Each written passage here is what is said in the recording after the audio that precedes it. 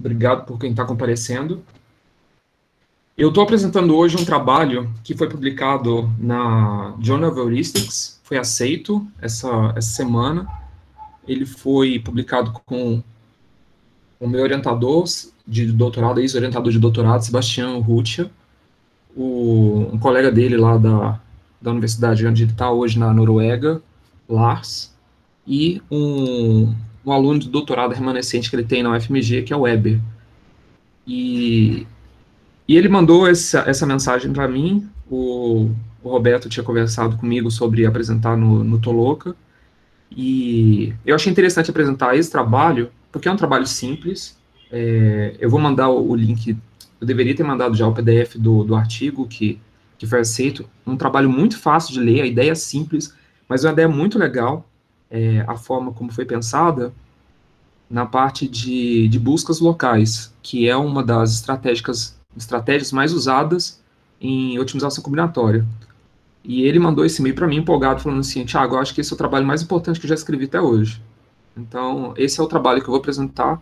Vocês vão. Espero que consiga acompanhar legal. É, assim, a ideia é simples, é um trabalho simples, não é algo é, tipo complexo, não é complexo mesmo, mas é aquela aquela forma de pensar fora da caixa que ninguém tinha pensado até agora e que é, ele acredita, né? Eu também achei bem interessante o trabalho, que pode ser algo que talvez dê para ele muitas citações e talvez comece a ser usado, né, como estratégia de busca local em problemas de otimização nos próximos anos. Então, é sobre isso que eu vou falar na apresentação de hoje. É, vamos lá. Então, primeiro, eu só queria poder contextualizar todo mundo no que, que, que eu quero dizer com problemas de, de otimização combinatória, né? E, e diferenciar, né? Porque eu acho que o, a gente tem essa, essa palavra combinatória é, aqui na, no nosso grupo e o, tem alguma interseção com que o que o Roberto faz, né? Combinatória é, obviamente, trabalha com, é, com conjuntos também, mas o que, que a gente quer fazer aqui, né, em otimização combinatória? A gente tem um, um espaço onde tem um, um certo conjunto de objetos, você tem, e a gente está falando de objetos matemáticos, né, e a ideia é que dentro, esse, dentro desse espaço de objetos matemáticos, a gente quer encontrar um, um subconjunto ou encontrar talvez um objeto só que tem uma propriedade que a gente considera como uma, uma propriedade ótima. Isso que a gente quer trabalhar em otimização combinatória. E para resolver problemas de otimização combinatória, a gente tem que definir isso melhor. Então, é, eu estou colocando aqui uma definição de problema de otimização combinatória em forma de uma quádrupla. Essa é uma, de, de, uma definição de problema de otimização combinatória bem compacta, ok? É claro que se você for olhar aí na, na literatura tem problemas de otimização combinatória, que, e à medida que a área foi crescendo, né, que eles é, exigem muito mais do que eu vou apresentar aqui para vocês para definir melhor o problema. Mas é, na essência deles, a gente tem o seguinte: você tem um conjunto de instâncias, então é, o problema tem uma instância, ok? Esse, esse conjunto de instâncias, vou dar até um exemplo de um probleminha no próximo slide. Esse conjunto de instâncias ele é infinito, então, você pode definir é, quantas instâncias você quiser, ok? É, para cada instância, né, para um problema de otimização combinatória, dada uma instância, deve existir um conjunto finito de soluções, e a gente define como esse F as soluções que são viáveis, ok? Feasible solutions. São essas que a gente está interessado. Então, para resolver o problema na prática, a gente quer que a solução obtida para aquela instância seja uma solução viável. Tá? Essa é uma das características que tem no problema de otimização combinatória. É, outra coisa que a gente precisa é, saber né, e ser capaz de fazer é medir, né, ter uma medida, saber avaliar a, o, o nosso resultado. Então, você tem uma instância, associada a essa instância, você tem uma solução para ela, e a gente define uma função m, que é uma função que dá uma medida. Então, de uma forma é, até mais próxima do que a gente vê, é, você tem um objeto matemático, ok? Você tem uma medida para ele, por exemplo, pode ser uma distância, pode ser volume, pode ser temperatura, isso que a gente está falando como medida, ok? Essa, esse número real, ou na maioria das vezes, né, é o número real que é associado a, a esse par, instância e solução. E a gente tem é, um objetivo, que é definido por essa função g. Em geral, o problema de otimização, ele é um problema de maximização ou de minimização. Então, isso resume, assim, é, o fundamento né, de, de um problema de otimização combinatória. Aqui eu vou, eu vou apresentar para contextualizar um problema bem, bem simples, muito simples mesmo, é, mas é um problema bem fácil de entender também. É, é legal que, que os, que os alunos estão vendo isso pela primeira vez é, conseguem entender bastante esse problema. É um problema de atribuição. Para quem já viu grafos, é, já deve ter visto é, matching, como é que você chama? Emparelhamento, né? A ideia de você é, escolher aqui um, um conjunto é, de arestas okay, que não tenham os terminais iguais em comum. Então, o que, que eu tenho aqui? Eu tenho alguns funcionários de uma empresa, ou, é, sei lá, funcionários ou pessoas, e aqui do lado eu tenho algumas tarefas que essas pessoas podem realizar, ok? Esse aqui é um caso de instância para um problema de otimização combinatória. E o que eu quero fazer aqui, é, dado que existe essa uma quantidade bem interessante de atribuições que podem ser feitas, eu quero encontrar a atribuição que pode ser uma atribuição que minimize ou maximize algum objetivo. Por exemplo, nesse caso aqui, suponha que a gente está querendo fazer uma atribuição em que é, a gente vai maximizar a competência da tarefa realizada. Então, isso depende, claro, da interpretação do, do que está sendo descrito aqui, né? Então, eu vou explicar o que está representado nessa instância. Então, cada uma desses quadrinhos é uma tarefa, ok? Cada uma dessas linhas aqui são é, tarefas que cada um sabe fazer. Aqui, nesses números associados a essas linhas, isso pode ser um custo ou um tempo para a realização da tarefa, ok? E ou também pode ser a, a competência. Observe que aqui esse indivíduo A, ele tem um vetor 2, 2, 3, associados às tarefas 1, 2, 3, né? Estão aqui indicados aqui em cima. Pode ser o tempo que demora, pode ser o quão competente ele é. Então, quanto maior o valor, mais competência ele tem para a realização daquela tarefa. Então, a ideia é você fazer uma seleção aqui de atribuições, né? Suponha que eu vou atribuir o primeiro, o primeiro indivíduo A para a tarefa 1, segundo indivíduo B para a tarefa 2, terceiro indivíduo D, C para a tarefa 3, e a gente pode querer maximizar as competências. Então, qual seria a atribuição de tarefas de tal forma que é, o soma, a soma das competências seja maior possível. Ou a gente pode ter um problema em que a interpretação desses valores resulte, por exemplo, em tempo. Qual seria a atribuição das tarefas de tal forma que essas tarefas sejam realizadas no menor tempo possível. Ok? Esse é um, um caso né, de, de um problema de otimização combinatória. A quantidade de opções que a gente vê aqui é, finita, ok? A gente não tem uma quantidade infinita de, de opções para resolver. E é, observe que eu, eu só falei aqui né, de casos viáveis. Então, existem soluções para esse problema que são inviáveis. Por exemplo, o indivíduo A querer resolver todas as tarefas. É claro que depende da, de como o problema foi definido, né, mas nesse caso ele é inviável. Eu não posso ter essa situação onde eu só tenho o indivíduo A sendo sobrecarregado e na prática eu vou ter o indivíduo B o indivíduo C é, recebendo para ficar à toa. Então, é, só para ter uma noção né, do que seria esse problema de atribuição.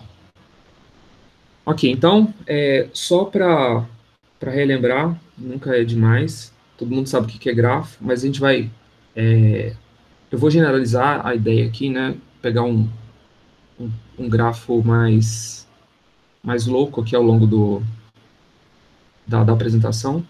Então, o que a gente precisa né, para o grafo né, são as entidades que estão representando é, elementos que eu quero é, definir uma associação entre eles, ok?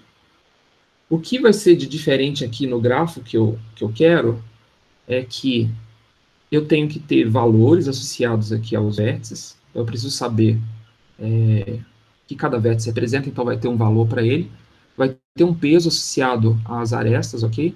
Pode ter direção, pode não ter, isso é irrelevante aqui para esse problema. Mas o que, que a gente vai resolver aqui? Qual é o problema que a gente vai estar tá resolvendo justamente é, aqui nesse contexto? É o problema do ciclo hamiltoniano. Primeiro que a gente precisa é, dar uma relembrada, né? Então, o problema do ciclo hamiltoniano é encontrar em um grafo um caminho fechado e vai passar por todos os vértices do nosso grafo. Essa informação dos pesos das arestas, para o problema do ciclo hamiltoniano, isso não me interessa, ok? Me interessa a existência do ciclo, que percorra todos os, os vértices sem repetir, né? E associado a esse problema tem um outro, que é o problema do caixeiro viajante. Então, o problema do caixeiro viajante talvez é o problema ou um dos problemas, né? Eu, eu arriscaria dizer que é o problema mais estudado em otimização combinatória, é, é você encontrar um caminho hamiltoniano, perdão, ciclo hamiltoniano, que passa, é, obviamente, pela definição, passar por todos os vértices, mas a questão é você considerar o custo desse ciclo hamiltoniano sendo o menor possível. Bem, para quem nunca viu ou não conhece o problema do caixeiro viajante, é, você do, do ponto de vista da abstração, a origem desse problema, né, uma das origens definidas foi de que um, uma pessoa que é um, uma vendedora, um vendedor de livros, vai visitar cidades e tem que é, escolher a sua rota, né, partindo da cidade de origem, visitando todas as cidades e voltando à cidade de origem de novo, é, com o menor custo possível, ok? Dado que isso que é o que vai impactar fortemente no custo do, do caixeiro ou da caixeira viajante que está fazendo isso. Então, esse, esse é o probleminha. Bem, aqui a gente tem uma instância do nosso problema, ok? Essa é uma instância. Uma solução é você, é, de fato, mostrar aqui um, um ciclo hamiltoniano aqui dentro, ok? Eu estou escrevendo esse, não faço ideia se é, se é esse, né, mas provavelmente eu posso escrever um outro aqui e comparar, ok? E essa questão é interessante. Então, eu posso dar uma medida. Para essa instância, tem duas soluções. Esse, esse não é não, né? Ah, eu esqueci do meio. Poxa, vamos lá. Obrigado, Roberto. É... Aqui tem que passar no meio.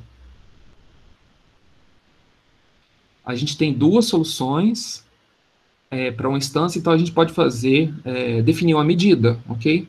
Então, dado a, a, instância que eu tenho, então eu tenho essa instância aí, eu tenho a solução 1, e associada a essa solução 1 vai ter uma medida de distância, ok?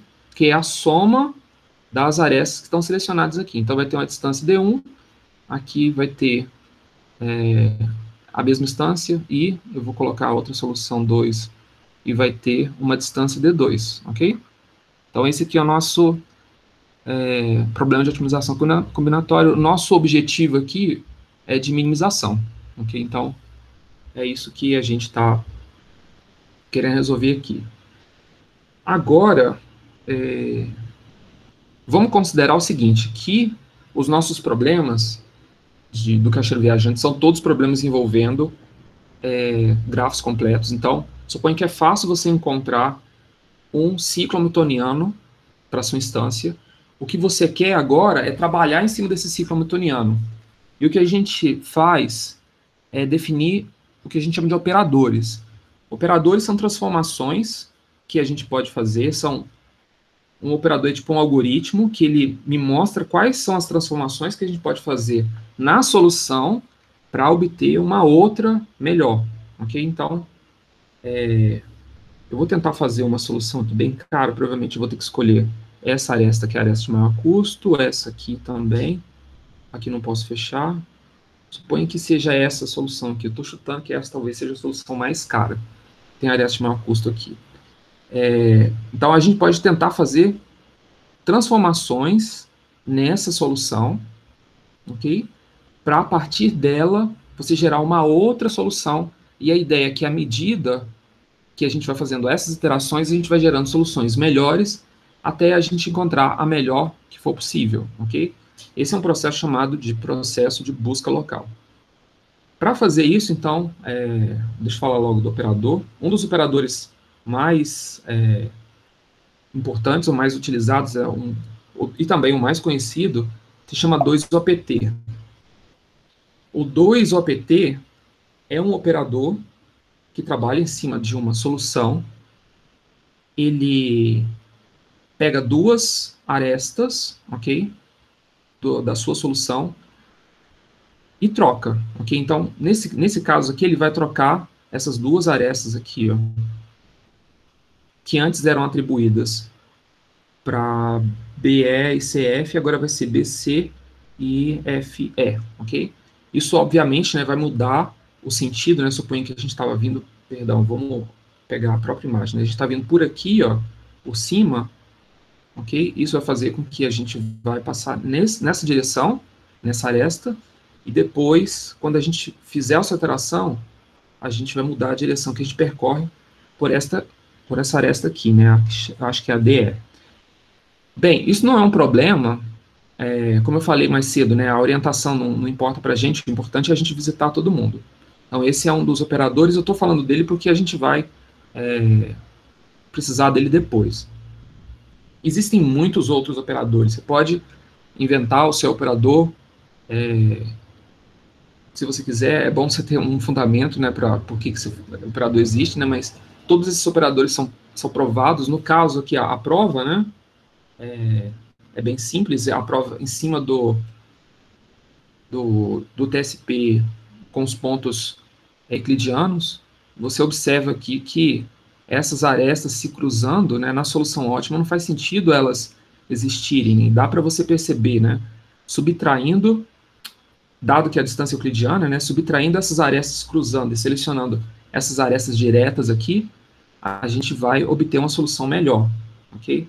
E o cálculo da solução, é, a solução gerada, né, através do movimento, é feito justamente assim. A gente pega a sua distância obtida, né, a medida que foi feita dessa solução. Então, dado que você tem uma instância, você tem essa solução, você aplica um operador na sua. Solu, perdão, você calcula a distância, né? Suponha a distância 1. Aí você tem um operador que você aplica, e esse operador vai fazer justamente isso: remover arestas e colocar outras. Então, é, esse processo, eu posso rapidamente calcular o valor da medida que é feito aqui, né? Então, eu posso avaliar isso, a gente chama isso de delta evaluation, avaliação delta. Você vai calcular só a diferença. Então, você tem aqui D1, que é a distância, você vai subtrair, subtrair essas arestas aqui, no caso, a BE e a aresta CF, a ordem não faz diferença, já falei, né? E você vai, e você vai adicionar é, BC e FE. Quando você faz isso, você calcula um, um delta, né? Nesse caso, ele vai ser negativo. Isso vai fazer com que a distância aqui reduza e é esse processo de transformação que a gente está interessado nele, ok? Então a gente precisa desses operadores para fazer essas transformações na solução. Oi, Roberto. Por que, que, ele vai ser negativo? Como é que é? Por que, que ele vai ser negativo? Entendi. Por que, que o delta é negativo? Nesse caso aí. Ah, sim, vamos lá. Boa pergunta, ok? Então você tem o valor dessa distância, eu chamei ela de D1. Essa parte pegou? Porque para toda instância você tem uma solução, ok? E para essa solução dada a instância, você tem uma medida. A medida aqui é a distância, ok? Então, para aquela solução, você tem a distância aqui. Eu estou considerando os grafos completos, então eu não, eu não botei explicitamente essa aresta aqui, mas existem arestas de todos para todos. Aí, o que, que eu vou fazer? Essa a gente pode a gente pode fazer essa conta aqui, né? Mas observe que a gente tem isso aqui, ó.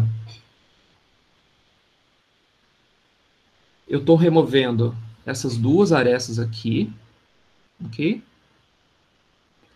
E estou adicionando essas duas aqui, ó. Ok? Observe que tem dois triângulos aqui nesse compartilham um ponto em comum, ok? Então, sem, sem perda de generalidade, eu tô, eu tô afirmando que essas duas arestas aqui, que estão em rosa, elas são, a soma delas, dessas duas, vai dar um valor maior do que a soma dessas duas aqui, ok? Tudo bem? Tá, mas isso é um argumento geométrico, e um grafo é um objeto topológico. Isso só faz ah, sentido ah. se você define o que é duas, duas, duas arestas se cruzarem em termos de dos valores da distância entre elas, né?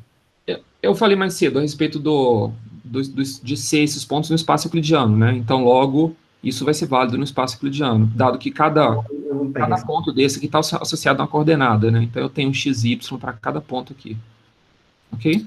Ah, ah tá, entendi. Ah, tá. Isso você está dentro do. Tá, tá, tudo bem. Entendi. É, isso, isso, esse é um comentário que eu queria fazer a respeito do 2OPT para mostrar a justificativa dele. Ok? Por, por que, que, que foi provado ele? Por que, que ele foi mostrado como sendo uma estratégia interessante? Agora, se, se o espaço for não euclidiano, aí você está bem em situação complicada. Porque isso pode funcionar ou não. Ok? E esse, esse delta aqui, você não pode contar com ele. Esse delta só funciona no espaço euclidiano, porque você está assumindo, né, que de fato é, você tem essa diferença aqui. De qualquer forma, você pode fazer ele, ok? Se você tem as arestas se cruzando, isso aqui vai ser de fato verdade o delta vai ser negativo. Eu tenho o BC, perdão, BC menos FE ok? Essas arestas aqui, elas são maiores do que as outras que eu vou inserir. BC, opa, estou colocando, era, li errado aqui, CF, CF, FE. Ok, agora está certo. Então, observe que eu estou tirando duas arestas maiores, colocando duas arestas menores. Então, esse delta aqui vai dar um valor negativo no resultado, ok? Então, o espaço tem que ser para isso, isso aqui foi proposto no espaço euclidiano, ok? A ideia desse 2OPT. Em problemas práticos, né, é, é, é muito raro a gente estar tá trabalhando com espaços não euclidianos. É muito, é muito difícil a gente ter é, situação que, se bem que uma cidade igual Salvador, modelada num grafo, você vai ter, claro, né, a aresta de indo vai ser diferente da aresta de volta. É, você vai ter pontos que você não vai poder contar com a coordenada, né? Porque, na verdade, para você ir de um ponto até o outro não vai ser é, simplesmente a medida euclidiana, né? Se você for considerar, por exemplo, cidade igual Salvador e cada ponto é um, é um local de visitação. Mas é, isso, isso, é abstraído na prática, pelo menos para a gente tentar considerar. Então, a gente ignora as, essas posições é, na, na prática, na hora de modelar. Então, a gente não tem a coordenada de fato. Mas enfim, eu consegui explicar isso, consegui entender que é, esse, esse delta mesmo, mesmo assim consegue ser válido? Sim, a, sim. Ideia, a ideia é você ter um delta negativo para você conseguir sair de uma solução para outra. A ideia é essa. Vamos lá. Agora vem um outro, é, um outro caso que é o seguinte. É o, é o grafo louco que a gente vai fazer aqui. Então, eu vou fazer aquela Aqui está uma solução, ok? Vou fazer algumas soluções aqui. Aqui tem outra solução. É, vamos lá. Então, a gente pode ter... São iguais ali. Deixa eu apagar essa. Eita, apertei o errado. Então, são quatro pontos, né? Posso conectar os quatro assim. Posso conectar assim, assim. Vou fazer só isso mesmo, para não me complicar muito.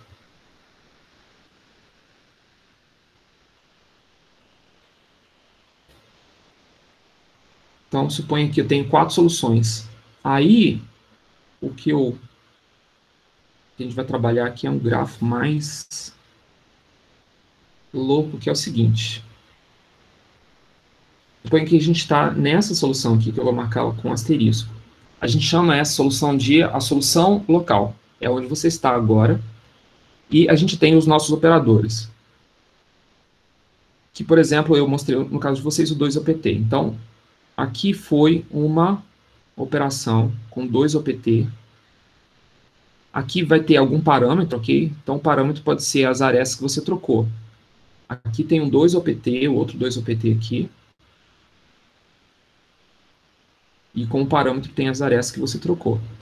Então, quando a gente está falando de é, busca na vizinhança, a gente sabe aquele conceito de vizinhança em grafos, que são é, o conjunto de vértices que estão ali adjacentes ao meu vértice de referência. Então, aqui define aqui uma vizinhança do meu vértice V. Mas também eu posso definir vizinhança, é isso que a gente define aqui em otimização combinatória, vizinhança de soluções. Então, dado que a gente tem uma solução, a gente pode definir soluções que a gente diz que são soluções vizinhas. E isso nos interessa muito, porque dado que você está em uma solução, você consegue aplicar um operador e gerar uma solução é, vizinha, que a gente chama, você pode fazer isso iterativamente, até você chegar a um ponto onde você não consegue encontrar uma solução vizinha que seja melhor do que a sua solução local, a sua solução atual. Então, esse processo de busca em vizinhança, que é um dos princípios também de busca local. E vou falar de busca local no próximo slide. Então, esse grafo louco aqui é, dentro de cada vértice tem uma solução. Então, essas são soluções que estão dentro de cada vértice do meu grafo. Ele define um espaço de busca onde são feitas é, opera operações de modificação na solução por meio de operadores. Então, essa aqui é uma solução vizinha, obtida por meio de um operador 2OPT com certos parâmetros. Você pode ter outros operadores, por exemplo, existe um outro operador chamado 3OPT, que você vai gerar uma outra solução ali, não faço uma ideia como é que vai ficar. No caso de 4, é, vai ficar a mesma coisa, né? O 3OPT é tirar três arestas botar três arestas, é, desde, desde que elas não sejam arestas consecutivas, então você não tem essa, não tem como você fazer isso aqui, né? Mas tem que ser em grafos maiores. Então suponha que você faz um 3OPT e gera, gera uma outra solução. Então são operadores que você pode aplicar e você cria esse grafo aqui. Então o trabalho que o, um otimizador vai ter que trabalhar, se caso deseje trabalhar com heurísticas, é fazer o percurso, é, investigação né, dentro desse, dessa vizinhança do espaço de soluções. Ok? Então, como é que funciona o processo de busca local? Busca local trabalha é, em cima disso aqui. Então, busca local que é muito simples, né? Então, dado que você tem uma solução, S, aí você tem uma solução S', essa S' é uma solução que está na vizinhança de S, ok? Essa função aqui é uma função que define a medida, ok? Qual que seria, não é a mesma, desculpa usar a mesma notação, né, porque eu tinha utilizado F para feasible, mas como eu peguei isso aqui direto do artigo, o pessoal usou F como função objetivo, eu acabei adotando o mesmo, mesmo nome aqui. Mas esse F aqui é a medida, ok? E eles, eles tiraram a instância porque é, fica redundante botar toda hora a instância, vai ser o mesmo parâmetro I aqui. Então, ok, tem uma medida da solução. Então, você mede a solução e vê a distância que foi obtida. Mede outra solução e vê a distância que foi obtida e compara. Ok? Se a minha solução vizinha for melhor então tiver um custo menor, você faz a substituição e volta no seu loop. E você vai fazer isso, né, agora com o S aqui sendo atualizado, o novo parâmetro, você vai fazer isso até essa condição ser satisfeita. Ok? Uma vez que essa condição não for mais atendida, você retorna a S como a melhor solução que você encontrou na sua busca local. Então, esse é o processo de busca local. Agora que vem a parte que é, fica mais interessante com relação ao processo de busca local, que é o seguinte: como que você é, vai decidir o percurso dentro dessa vizinhança? Porque uma coisa que é interessante é você não conhece o grafo todo. Esse grafo, é, ele vai. Os vizinhos vão aparecendo à medida que você vai fazendo operações. Você vai construindo o, os vizinhos que são as soluções vizinhas, né? As soluções vizinhas vão aparecendo à medida que operações são realizadas. O interessante até que para vários problemas é que não se conhece todas as operações que você pode fazer em cima de uma solução. Então isso é uma, isso é uma outra questão também. Aí tem é, técnicas que são utilizadas para fazer esse percurso. Isso independente do operador. Isso, isso é uma questão que, que tem a ver com é, dados os, as soluções vizinhas que você tem, em que ordem que você vai percorrer, né? Então, eu vou evitar desenhar alguma coisa dentro do vértice, né? suponha que cada vértice aqui representa uma solução. Então, dado que você tem uma solução, você pode ter vários vizinhos. Ok. A estratégia Best Improvement, o pessoal traduz também para melhor aprimorante, é você olhar a sua solução atual, você olha os seus vizinhos aqui, então você vai ter um monte de soluções vizinhas, S1, S2, S3, podia desenhar mais, mas vamos ficar só com essas. Você tem que identificar qual que é o melhor vizinho, suponho que eu identifiquei aqui como S2, o melhor vizinho de todos, depois de uma inspeção geral, eu descobri que o S2 é o melhor de todos. E eu continuo o meu processo de busca local a partir do S2, ok? Obviamente, se eu tenho que o F de S2 for menor do que o F de S1.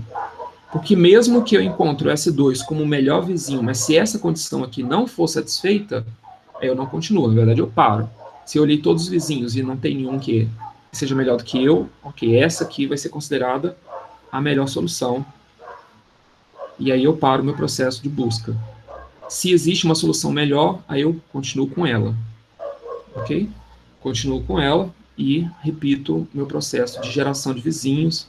Aí eu posso ter mais outras soluções aqui. Sei lá, S4, S5 e aqui S6. Aí tem a questão de vizinhança, vou tentar separar aqui a vizinhança, né? Esse aqui, ó, circulado em azul, é a vizinhança de S, tudo bem? Agora, aqui em vermelho, vai estar tá a vizinhança de S2. Então, essa, essa ideia aqui do processo de melhor aprimorante é você olhar na vizinhança e tentar identificar qual que é o seu melhor vizinho. E continuar o processo, né? Muda, você troca de solução e continua o seu processo de busca a partir desse outro vizinho. Então, você poderia até encontrar aqui, dentre todos, esse aqui é melhor, ok? E você continua. Observe que é, existe uma garantia de decrescimento do valor da função. Okay? Então, você não vai piorar. Você está sempre encontrando melhor, melhor, estritamente melhor. Aí você vai mudando, ok? Não é esperado que exista um platô também, que você vai ficar preso na, no valor da, da medida né, da, da sua solução. Outra coisa interessante é outra forma de você fazer, que a gente chama de melhor aprimorante, é first improvement. First improvement. Então, dado uma solução, aqui, você observa, define, né, através dos operadores, as soluções vizinhas,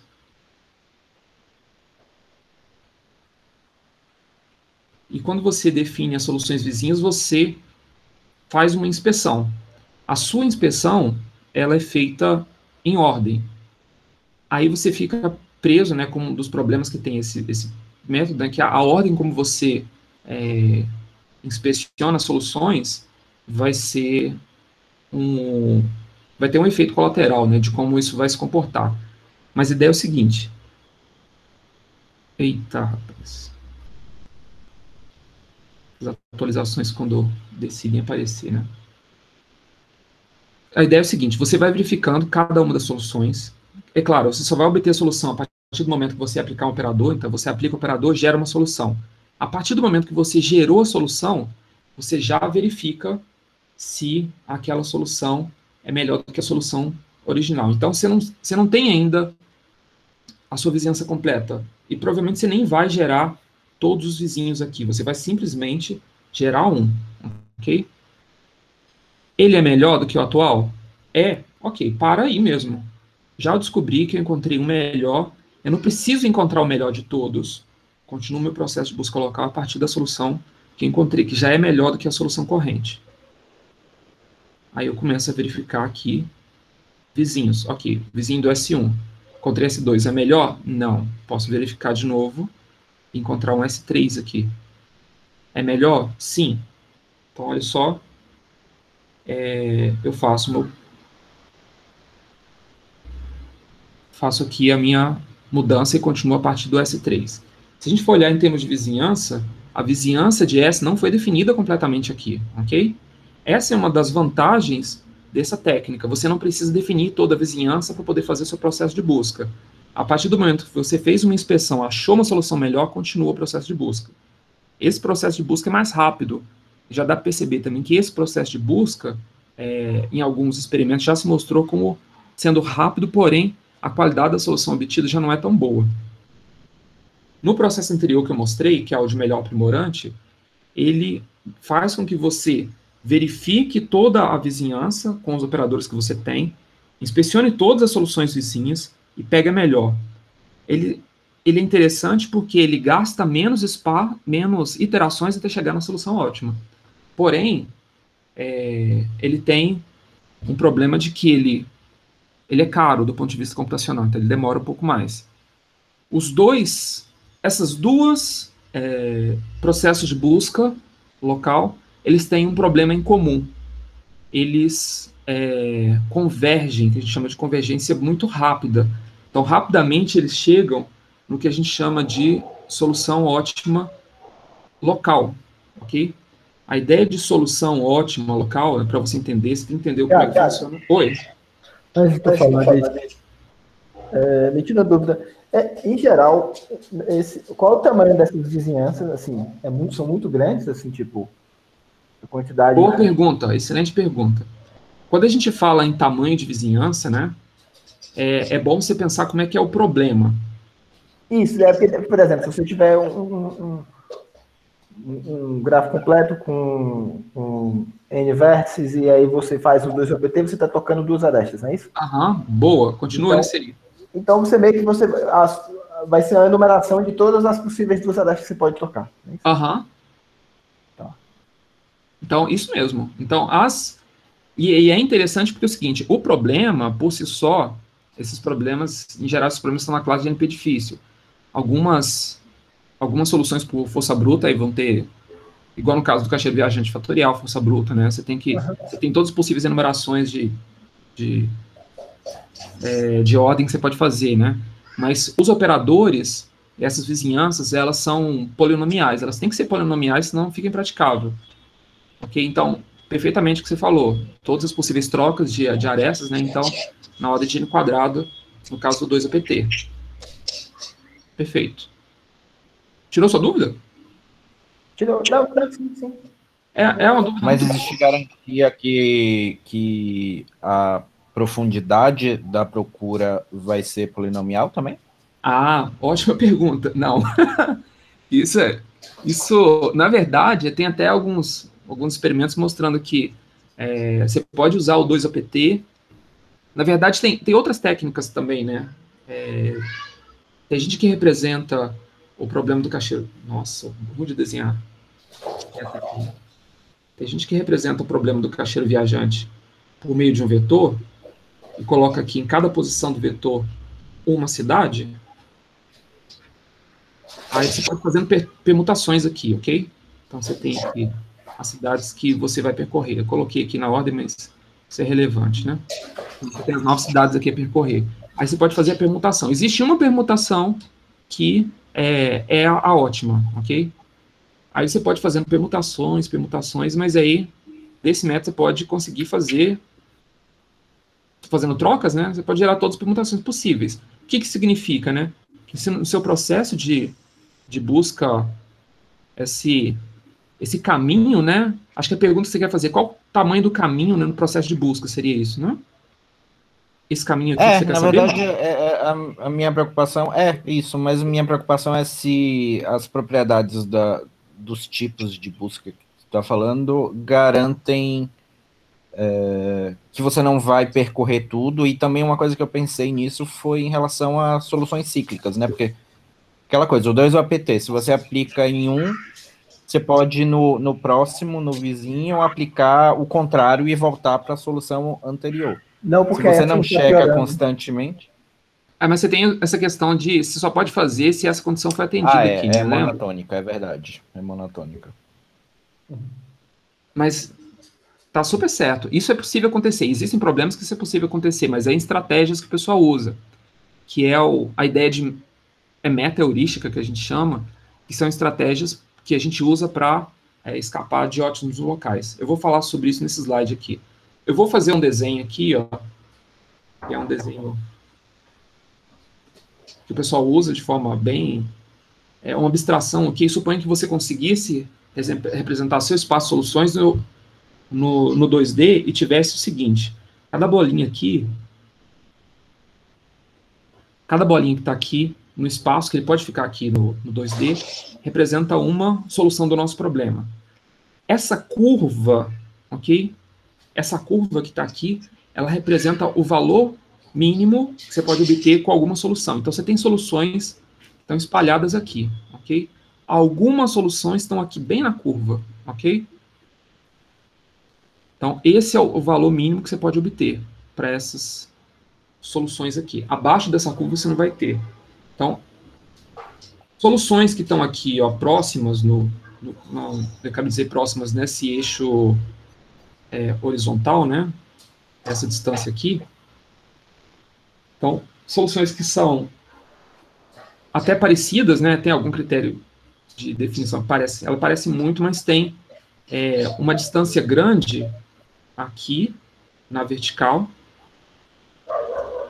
que vai representar o quão diferente que ela é em termos de função objetivo, ok? Então, a função, o eixo que define a função objetivo é esse aqui, ó. O eixo vertical. Minha função f aqui, ó.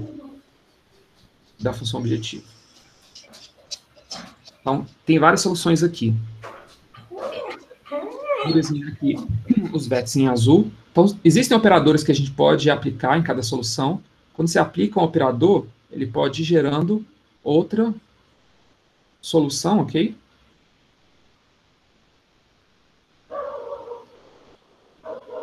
O que acontece é isso, vai gerando outra solução. A partir do momento que você verifica a vizinhança e você não consegue mais identificar uma solução vizinha melhor do que ele, aí você acabou. Você tem soluções aqui que você vai é, melhorando, okay? pode ir melhorando até chegar aqui numa situação onde que você vai, pode fazer esse processo de aplicar o operador, gerar uma solução vizinha, e você para aqui, ok? Bem, esse cenário aqui, o primeiro que eu fiz, seria o cenário ideal, porque suponha né, que essa, esse ponto aqui, ó, ele seja o menor ponto no espaço de soluções, então eu estou numa solução que é a solução ótima. Okay? Em geral, a gente chama isso aqui de ótimo global. Isso aqui é a melhor solução de todas. Essas soluções aqui, ó, estão nesses pontos, nesses é, vales mais elevados aqui, a gente chama de ótimos locais. Esses ótimos locais, eles são indesejáveis para a gente.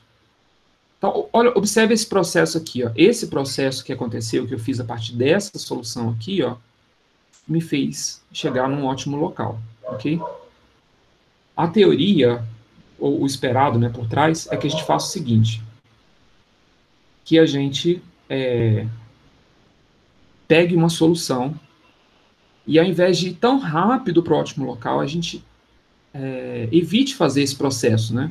Então, a ideia é a gente não ficar tão próximo do ótimo local, que a gente consiga, né, fazer algo assim. Eu quero ir para lá, ok? Bem, tudo isso aqui é da, da, parte de heurística, tem algumas coisas que são bem, eu vou dizer assim, tem, tem uns caras que são sérios na, na parte de heurística, tem uns caras que são muito viajados na parte de heurística. Tem uns caras que Tem uns autores assim que propõem umas estratégias muito malucas é, para poder evitar pesquisa tubarão, né? Tem uns caras que pesquisam tubarão. Eu mandei isso né, no, no grupo uma vez, né? Tipo, técnica de, de otimização baseada em movimento de tubarão. Tem umas técnicas baseadas em Teve um cara que fez um, um, algoritmo baseado na coruja do Harry Potter, alguma coisa assim, coruja de, de campanha. É, tem uns que são mais sérios, né? Que apesar do nome ser divertido, mas o, o algoritmo é sério, tipo colônia de formigas. Tipo, que viagem é essa, né? Mas é, na prática funciona bem. Enxames de abelhas, enxames de partículas, funcionam bem. É... O, o, o, o, que eu ia te perguntar depois era isso. É, exatamente, se é melhor você ir mais longe ou, ou mais próximo. Se tem alguma. Ou é, é, só intuitivo, assim, se você vai mais longe, você vai diminuindo mais vezes. Aí, uhum. Mas você pode diminuir muito pouco e chegar num local ruim. É, em geral, pelo menos o que, o que eu tenho observado, assim, que na prática, assim, quanto muito, se você vai muito rápido e chega num ótimo local, em geral você acaba chegando num ótimo local nesses vales aqui. Porque, em geral, soluções aleatórias que a gente gera inicialmente, né, não são muito boas. As soluções iniciais começam aqui em cima, em geral, ok? Aí você aplica algum processo de melhoria para você descer com as soluções, é, você consegue descer com elas até algum vale. Em geral, essas soluções geradas aqui, elas, elas descem. Você não tem essa sorte de. Na prática, você não tem essa sorte de, de fazer isso aqui, não, ok? Isso não acontece na prática, não. Se, acontecer, é muito raro. Tipo, você foi muito. Você acertou na lua. Agora. Que você perguntou mesmo? Não, é melhor você ir mais. É, percorrer mais, o caminho sendo maior do que. Ou se. Tipo. Não se sabe muito bem assim. De, a paz, isso depende de, de algumas estratégias. Por exemplo, quem usa algumas meteorísticas igual a algoritmos genéticos, eu já usei um tempo, depois eu parei, foi observado que, em geral, é melhor você é, dar, dar mais tempo para você chegar na solução ótima. Mas isso é por causa da própria estrutura do, da meteorística, de algoritmo genético. Porque a ideia é você trabalhar com evolução, tipo, a teoria por trás, que até faz sentido com, com o resultado prático é que se converge muito rápido, você tem uma população muito homogênea, você não consegue diversidade, a ideia é você trabalhar com diversidade e associar. Do ponto de vista de heurística, né, sem preocupar com as meta-heurísticas, quando você converge muito rápido, você chega muito rápido numa solução é, ótimo local, em geral, essa solução não é muito boa.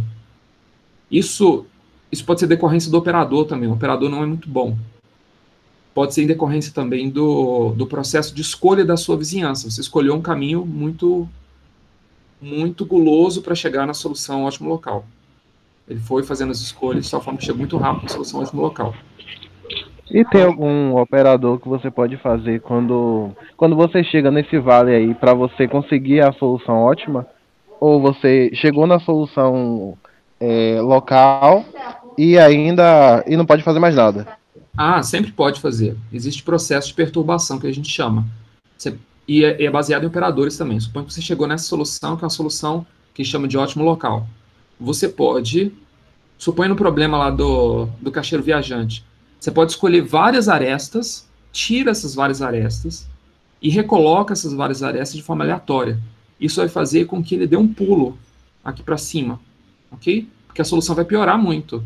Em compensação, você pode aplicar de novo o processo usando operadores e você acabar em um outro ótimo local, ok?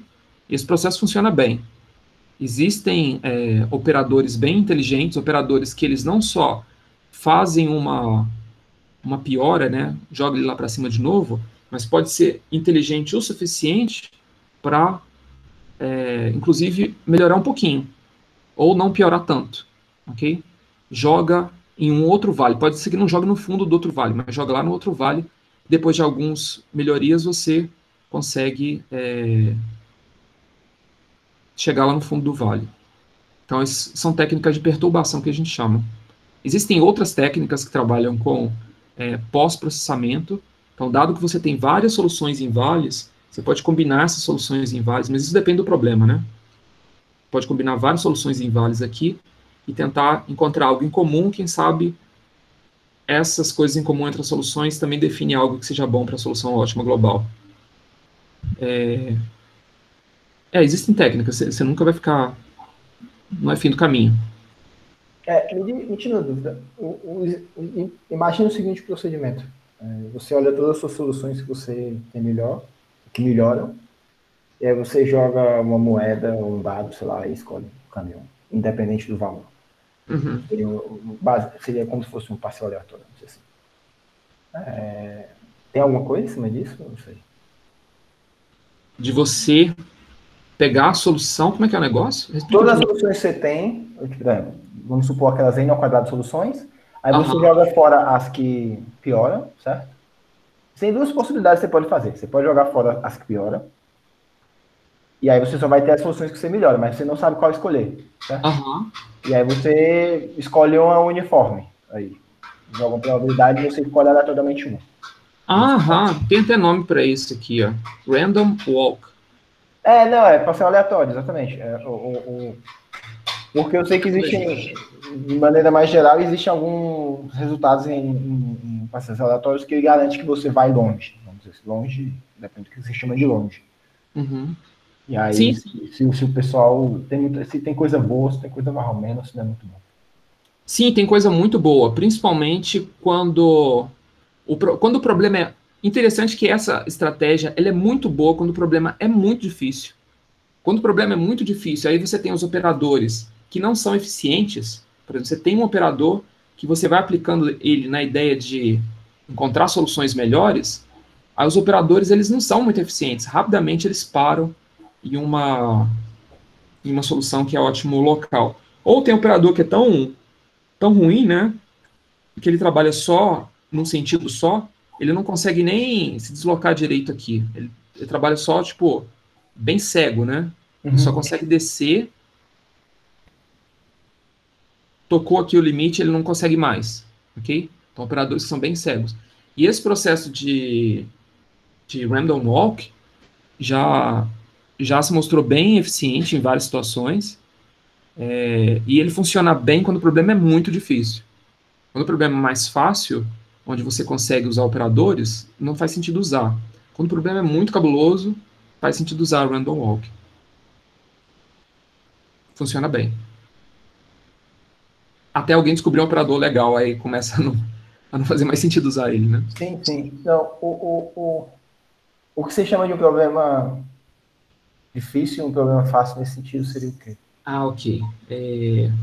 Bem, não é, não é igual do ponto de vista teórico, né? Não é. Sim, sim, sim, é. Por isso que eu estou perguntando. Deixa eu pegar. Por exemplo, para mim seria muito um problema muito difícil seria um cara que tivesse muitos é, esse, esse, teu, esse, esse teu gráfico aí fosse muito subindo e descendo, vamos dizer assim. Oh, um problema bem difícil é o seguinte, é... o problema que eu trabalhei com com, com Spot Scheduling, ele é um problema bem difícil, porque é, você tem, por trás dele você tem um grafo, você modifica o grafo, ok? Principalmente, não, não só esse, mas todos os problemas de otimização combinatória, cuja modificação no grafo, onde o, a estrutura do grafo representa a solução, esses são problemas difíceis, onde a própria estrutura do grafo representa a solução. Ele é difícil por quê? Por causa de isomorfismo. Por quê? você modifica o grafo. Você olha assim, pô, esse grafo é. Cheguei a uma solução diferente. Nada, você foi enganado, você está se enganando, você está se iludindo, porque você gerou simplesmente um outro grafo que é isomorfo, o grafo de, de origem, ok? O fato de você ficar trabalhando com grafos isomorfos, é, em vários problemas de otimização combinatória, onde que você tem esse problema de isomorfismo, esse é um, isso é uma coisa bem chata, ok? Isso é muito chato. De, de ter isomorfismo na, nas soluções. Mas é um problema da representação do, do problema em si, não necessariamente da, da geometria da, da, do espaço de soluções. Né? Pode ser um problema, sim, pode ser um problema, sim. É, mas o, o que eu tenho visto é que quando tem essa simetria, né, ela, ela costuma refletir até mesmo em, em modelo de programação inteira. Não sei, não sei te explicar isso em detalhes. Mas, por exemplo, tem vários problemas que têm esse problema vários problemas de otimização somatória, de, de otimização combinatória, que tem essa, essa situação, essa, esse inconveniente de serem difíceis por causa de isomorfismo ou simetria, isso se reflete também em, em até mesmo em programação inteira. Quando você, mesmo modelando isso por meio de equações, você acaba é, identificando essa dificuldade. E, e Marlon, você continua certo, porque é, você consegue, vários autores já fizeram isso, né? A gente observa a evolução das soluções dos problemas de otimização combinatória, que uma das técnicas para resolver esse problema é quebrar a simetria.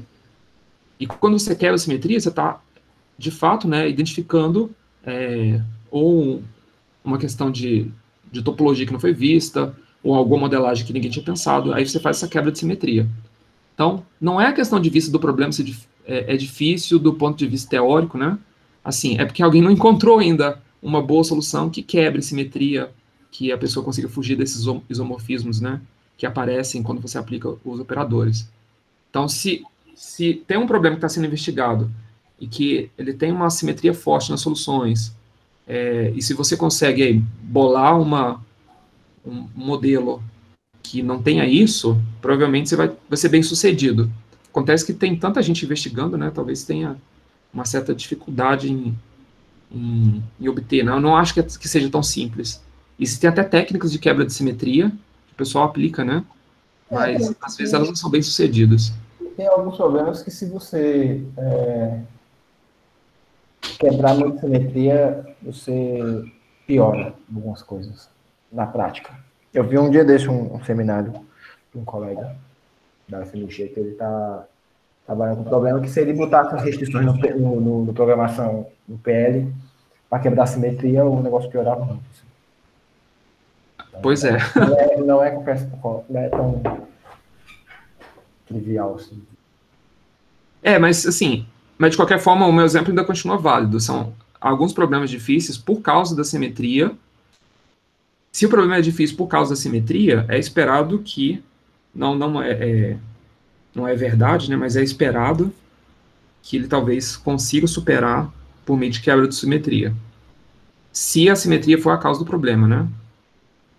Me impressiona, assim, eu, eu acredito no que você falou, mas às vezes surpreende, mesmo que tipo, pô, é verdade, mas surpreende quando você quebra a simetria mesmo assim o problema talvez piore, né? Isso surpreende bastante.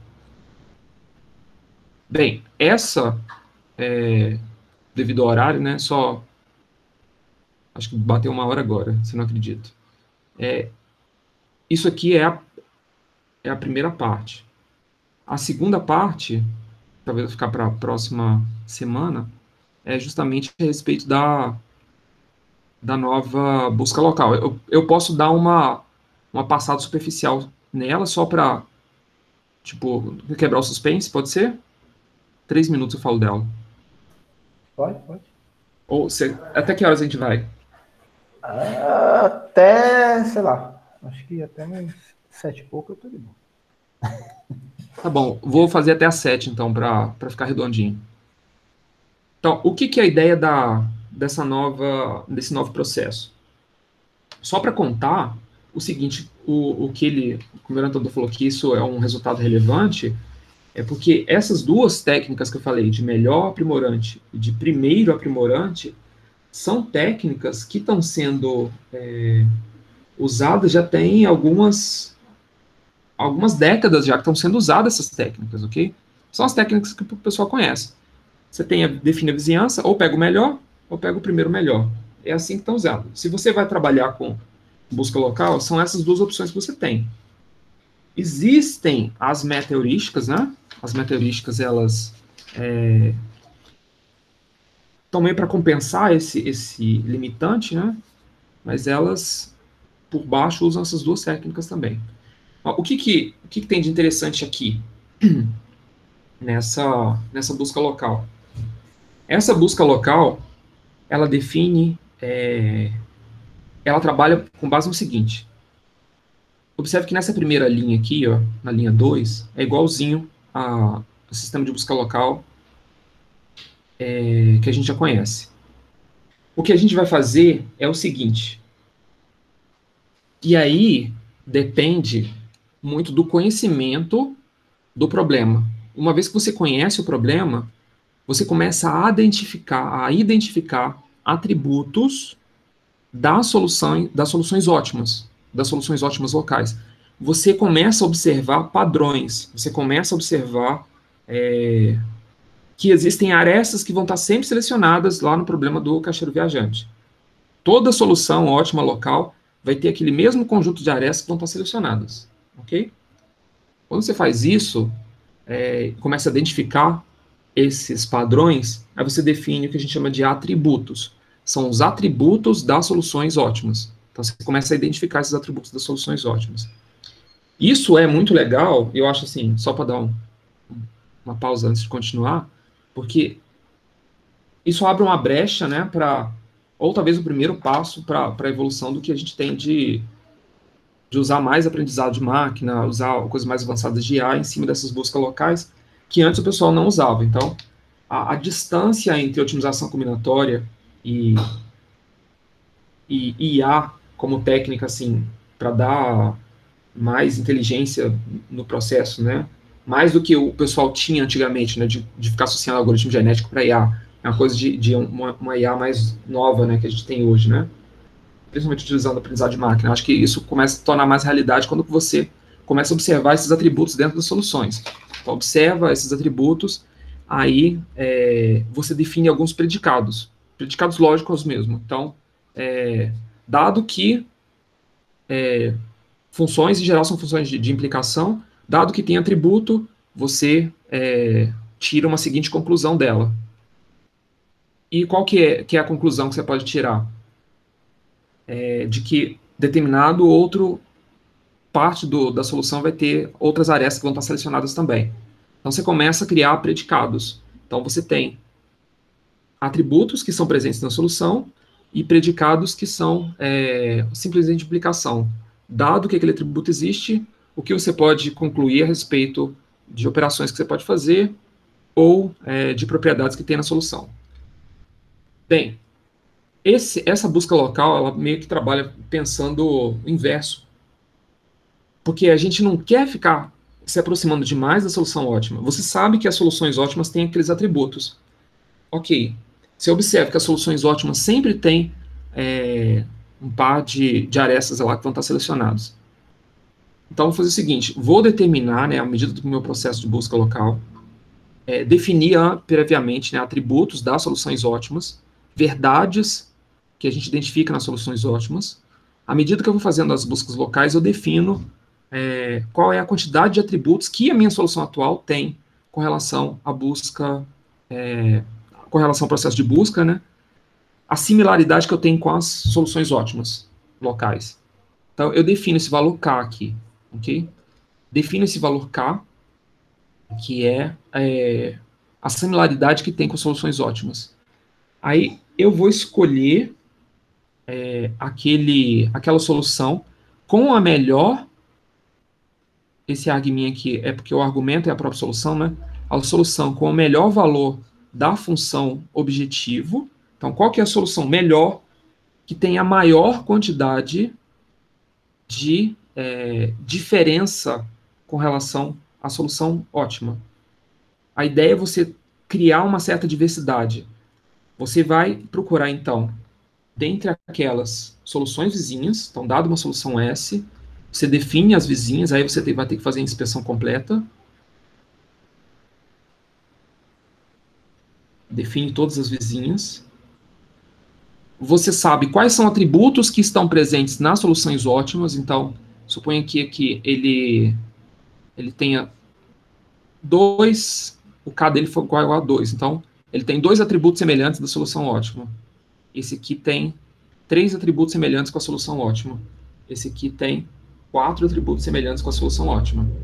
Então, o ideal é que a gente pegar esse cara aqui, né? É o cara que tem a melhor, a maior quantidade de atributos é, perdão, desculpa, eu estou falando. É o contrário, ok? Desculpa. É o mínimo, né? É, é, o contrário, porque isso aqui eu quero saber qual que é a diferença, ok? Qual, qual que é a quantidade de atributos mais diferente possível da solução ótima, ok?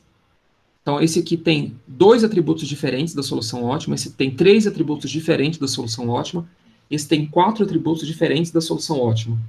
Então, eu quero encontrar aqueles que têm a maior diferença com a solução ótima. Eu posso começar a aula, a, a explicação da semana que vem, voltando aqui, explicando talvez um pouco melhor, adicionar mais slides com, com isso aqui, colocando o exemplo do caixa de viagem, já fica bem melhor. Ok, aí eu identifico quais dessas aqui, depois de identificar né, qual foi os atributos, né? Então, esse aqui difere em quatro atributos da solução ótima, difere em três, difere em dois. Quanto mais diferente, melhor. Mas eu também tenho que considerar aquela que melhora. Então, observe que essa aqui melhora, ok? E essa aqui melhora também. Apesar dessa ser bem diferente da solução ótima, ela não melhora. Então, eu vou escolher entre essas duas. No caso de, de escolha, né? Então, eu vou escolher aquela que tem é, a melhor função objetivo. Então, suponho que S2 tem a melhor função objetivo. Então, eu vou fazer o meu movimento de S para S2. Então, só para para dar uma ideia de como funciona essa busca local. Então, ela funciona observando atributos dos das soluções ótimas e é, pega esses atributos, aquele que for aquela que tiver maior diferença, né, aquela que tiver maior discrepância da solução ótima é escolhida, desde que ela tenha o menor valor de função objetivo. Então, a ideia por trás dessa busca local é, é isso aí. Bem, e como é que faz isso? Aí eu explico na, na aula seguinte. Eu vou colocar outros slides para fazer essa explicação melhor, é, porque a gente consegue identificar é, atributos das soluções, das soluções ótimas. É, por exemplo, se você pode, se você tem uma situação, né, que você tem várias arestas para você escolher, você não vai escolher as duas de maior custo. Tem, eu vou mostrar essa semana que vem como é que você pode fazer se você tiver uma situação como essa aqui. Na sua solução ótima, tem arestas que você é, obviamente não vai escolher. A sua solução ótima não vai ter é, dado um subgrafo que representa a solução dela. Você não vai escolher as duas arestas de maior custo. Eu vou mostrar isso na, na semana que vem. É, e vou colocar mais, mais esclarecido, porque acho que só tem mais três slides para terminar aqui. Eu pensei que fosse até terminar hoje. Aí semana que vem eu apresento com bem mais profundidade isso aqui de novo. Bem, por enquanto é isso.